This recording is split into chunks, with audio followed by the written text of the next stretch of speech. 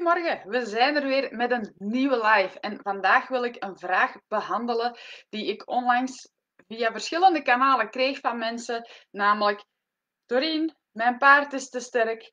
Welk bit adviseer je me? Ehm, en ze stelden eigenlijk die vraag omdat ze sowieso al hadden beslist om naar een zwaarder bit te gaan. En ja, daar heb ik mijn eigen mening over. En die mag ik hebben, maar jij mag ook jouw mening hebben. Dus voordat ik zo'n vraag beantwoord, waarschuw ik altijd eerst een beetje van: dit is mijn mening.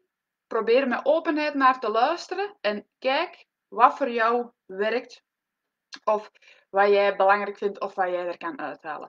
Nu, als eerste um, wil ik even zeggen, want ik weet er zijn ook in de horsemanship wereld heel veel mensen die bidden afzweren. Um, nu, ik rij ook nog af en toe met een bid. Ik vind op zich vind ik met bidden niks verkeerd, op voorwaarde dat je er zo zacht mogelijk mee bent.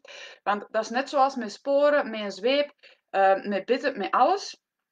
Het, het, het ding zelf, in dit geval het bit op zich, is niet verkeerd, maar vaak wel de handen die eraan hangen. En wat de mensen of wat de ruiters met dat bit doen, dat is hetgeen waar we op moeten letten. Want sowieso, uh, feit is en blijft, een paardenmond is heel gevoelig. En daar moeten we gewoon mee opletten, moeten we um, respect voor hebben. Dus uh, ik rij in trainingen en uh, thuis en in de piste en zelfs uh, ja, op training um, als ik op les ga, rij ik geregeld bitloos met een nekstring dan, dus ook zonder hoofdstel, zonder teugels. Maar bijvoorbeeld als ik buiten ga rijden met mijn paard, dan heb ik, ik ga niet zeggen dat ik nooit zonder bit buiten rij. Maar zeker als ik een langere bosrit ga doen of um, ik ga iets verder dan het blokje om, om het zo te zeggen, dan ga ik altijd een hoofdstel met een bit aandoen. Puur omdat voor mij veiligheid nog altijd op de eerste plaats is. En het is ook de bedoeling um, dat je je bit eigenlijk zo weinig mogelijk ga gebruiken. En dat vond ik ook geweldig. Dat was een geweldig inzicht bij mij uh, toen ik uh, bij Pat was op de range. Want ik herinner me nog dat ik, uh, ik zadelde voor hem zijn paarden op. En um, ik vroeg bij een bepaald paard welk, welk hoofdstel of welk bit heb je nodig. En hij zei tegen mij van, het maakt niet uit, ik gebruik het bit toch niet. Dus en toen dacht ik van, inderdaad, zo kan het ook. Van, het bit op zelf is niet fout. Het, het foute is hetgeen wat je ermee doet of wat je er te veel mee doet. Dus dat even als, als ja, intro. De intro is al, uh, al redelijk lang ondertussen. Dus even terug op die vraag van dat bit. Het gevaar is, als je gaat denken van mijn paard is te sterk, ik heb een sterker bit nodig, dat je op een bepaald moment uh, tot die fase komt, ja, dat je altijd sterker moet gaan en dat je geen zwaarder bit meer hebt. Plus, wat ik net in het begin al zei, het is niet de bedoeling dat we fysieke kracht in de paardenmond gaan gebruiken, want de paardenmond is echt gevoelig. Dus er is iets anders dat we ook kunnen doen, namelijk werken aan dat respect van je paard. Want wat is eigenlijk een paard dat tegen de druk van het bit ingaat, of, of die dat bit vastneemt, of, of wegtrekt, of letterlijk de teugels uit jouw handen neemt? Dat is eigenlijk een paard dat geen respect heeft op dat moment. wil niet zeggen dat, dat je paard nooit respect heeft voor jou, maar op dat moment heeft jouw paard geen respect voor jou. En dan komen we weer op het topic van leiderschap. Ja, dat is echt mijn stokpaardje, leiderschap. Um, dus dat gaat puur over dat respect. En denk eens even in de evolutie. Als paarden vroeger in het wild leefden en ze moesten geregeld gaan vluchten voor leven en tijgers en weet ik veel, ze hebben eigenlijk van nature geleerd om tegen alle druk in te gaan, om daartegen te vechten, om daarvan te ontsnappen. Stel, hè, um, het paard zit met zijn staart vast, ik zeg maar wat, in een struik. Ja, dat paard gaat alles doen wat hem kan om los te komen. Want stel dat er ineens uit die struik een leeuw komt om hem op te eten, ja, als hij daar blijft hangen, moet hij weg. Uh, moet hij weggeraken of hij is dood en wordt, uh, wordt opgegeten en is dood. Hè. Uh, je ziet dat ook heel vaak, vooral bij jonge paarden die uh, leert gebonden staan. Hè. Als die voelen ze kunnen niet weg, beginnen ze te panikeren. Dat is eigenlijk net hetzelfde. Dat is nog altijd dat oerinstinct of dat oerbrein dat eigenlijk speelt. Dat een paard denkt van, ik zit vast, ik kan niet weg. Subiet word ik opgegeten en dan ben ik dood. Dus dat is puur instinctief dat ze vechten tegen die druk. Nu, als wij op een paardvriendelijke en aangename manier met ons paard willen leren omgaan, is het belangrijk dat wij ons paard leren om mee te gaan met die druk. Om niet niet te vechten tegen die druk. Want ze hebben eigenlijk in, in de evolutie altijd geleerd dat dat nodig is om te overleven. Dus als je het al van die manier bekijkt, kan je eigenlijk al, of zo bekijk ik het toch, kaderen dat ze een normaal gedrag vertonen. Nu, waarom ze dan op dat moment van jou wegtrekken of het bit willen overpakken, dat is nog een ander verhaal. Uh, dat kunnen duizenden en redenen zijn. Uh, dus dat gaan we nu niet behandelen.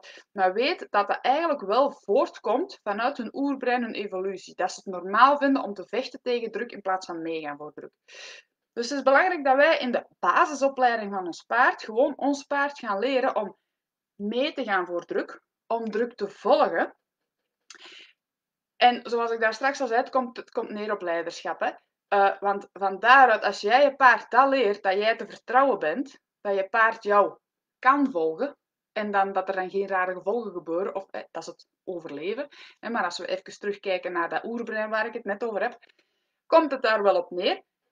Want wat is voor paarden hun nummer één prioriteit? Dat is veiligheid. Dus het is aan ons, als goede leider van ons paard, om te zorgen dat ons paard zich veilig voelt bij ons. En dat respect waar ik het net over had, hè, want een paard dat wegtrekt of dat de teugels overpakt, dat is op dat moment niet genoeg respect voor jou of geen respect voor jouw leiderspositie. Dus dat is dan weer het volgende, werken aan jouw leiderspositie. Dus het, het, het probleem van een paard dat te sterk is voor het bit, waarbij je altijd sterkere en sterkere bitten uh, gaat nemen. Ik kan daar nu geen pasklaar antwoord op geven in de zin van doe dit en um, je bent er vanaf. Het hangt ook weer van situatie tot situatie af, maar weet dat in de kern het altijd, uh, ja, dat het probleem in de kern ligt aan een gebrek aan leiderschap uh, en een gebrek aan respect. Dus dat hangt samen. Hè? Dat je paard jou niet als leider ziet of respecteert op dat moment. Uh, en ja, ten tweede eigenlijk, want dat pak ik samen. En ten tweede, dat we onze paarden beter in de basisopleiding mogen leren uh, meegaan met die druk in plaats van er tegen vechten. Ik hoop dat dit een beetje jou toch een andere kijk geeft op het gebruik van, van bitten en van wel of niet een zwaarder bit. Um, om even, want die vraag krijg ik dan ook doorheen, welk bit gebruik jij? Ik gebruik bij al mijn paarden gewoon een simpele trends of een dubbele gebroken trends. Dat bit gebruik ik uh, voor al mijn paarden als ik een bit gebruik. Um, ik rij met mijn Mary ook in de koets. En daar heb ik een, wel, een, wel een stang. Maar, ja, omdat ik ook zoiets heb van... In de koets, je bent met iets anders... met een groot geweld op de baan. Er zitten vaak mensen in. Allee, nu niet, eh, mag ik niet. Um, maar dan nog gebruik ik niet... Um, hoe noemen ze dat? De stangen eigenlijk. Maar doe ik de teugels ook altijd in de ring. En ik gebruik ook sowieso, um, zelfs in de koets, mijn bit zo weinig mogelijk of bijna niet. Want ik heb mijn paard ook gewoon geleerd om links, rechts, ho en uh, draf en galop. Daar heb ik ook mijn eigen codes voor. Dus eigenlijk, ik heb bitten en ik gebruik ze zo weinig mogelijk. Eigenlijk, ja, enkel in noodgevalletjes of in, of in stressmomenten. En wat ga ik dan doen? Dan ga ik ook niet met mijn volle gewicht aan de, aan de teugels hangen. Maar dan ga ik eerder mijn paard gaan inbuigen zodat ze eigenlijk ontkoppelen noemen we dat. Dat ze hun uh, achterbenen gaan kruisen. Nu in de koets kan dat natuurlijk niet. Maar dan heb ik nog een rem. Um, dus dan gaan we eigenlijk eerder inbuigen. Dat je eigenlijk met één teugel werkt. En dat is ook nog altijd veel zachter dan met, uh, met je volle, volle kracht aan de teugels te gaan hangen. Dus. Maar dat is enkel in noodsituaties. Ik weet niet wanneer ik het de laatste keer nog eens heb moeten doen. Dus dat is al lang geleden. Dus de moraal van het verhaal. Naar mijn mening zijn bitten niet fout. Maar wat wel fout kan zijn, zijn de handen die aan het bit hangen. Dus hou daar heel veel rekening mee. En uh, om een algemene conclusie te geven, naar mijn mening uh, is het geen oplossing om altijd zwaarder in bit te gaan. Uh, want ooit stopt het eens. En denk aan die gevoelige paardenmond. Maar om te werken aan jouw leiderschap, dat je paard jou respecteert en je paard te leren om mee te gaan voor druk in plaats van er tegen te vechten. Dat is mijn boodschap voor vandaag. Ik ben heel benieuwd naar jouw reactie, dus laat het me gerust weten. Um, ik sta open um, om te horen wat jij ervan denkt of wat je nog vragen hebt. Dan hoor ik het wel. Tot later!